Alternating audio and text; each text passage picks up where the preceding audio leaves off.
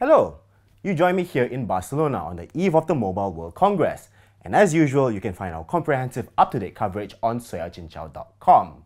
Now I'm here because OnePlus has very kindly invited us to check out its latest phone. You've probably already seen the OnePlus 11. If not, you can check out our review in the top right corner. But there's a second part of the story. We're not here to check out a phone that you can already buy in Malaysia. There's a second phone that, to be honest, is a little bit more interesting.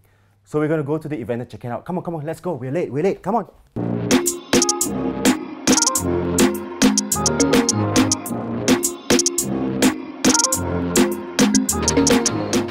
As the name suggests, the OnePlus 11 concept is based on the regular OnePlus 11, which was launched earlier this month.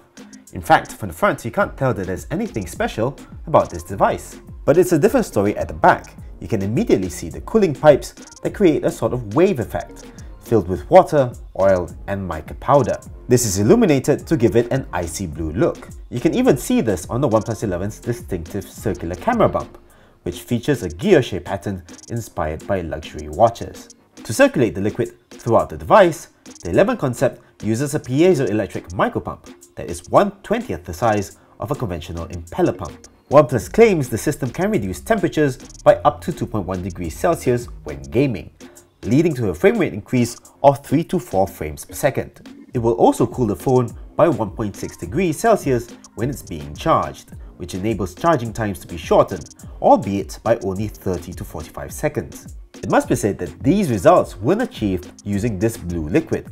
It looks cool, get it? But it doesn't actually dissipate heat very well. Instead, the company used distilled water, which doesn't look so impressive for a concept phone. There are a couple of other drawbacks. The concept is slightly thicker than the regular model and it doesn't have such a big battery at just 4200 mAh instead of 5000.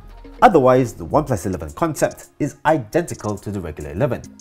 It has a 6.7-inch 1440p AMOLED display with a 120Hz adaptive refresh rate along with 100 watt SuperVOOC fast charging. There's also a triple camera setup consisting of a 50 megapixel main camera, 48 megapixel ultra wide, and a 32 megapixel telephoto, as well as a 16 megapixel selfie shooter. So there you have it, the OnePlus 11 concept. What do you think about the looks and the claims that OnePlus is making about the device? Let us know in the comments down below. Again, you can check out all our comprehensive, up-to-date coverage of the Mobile World Congress on soyacincau.com.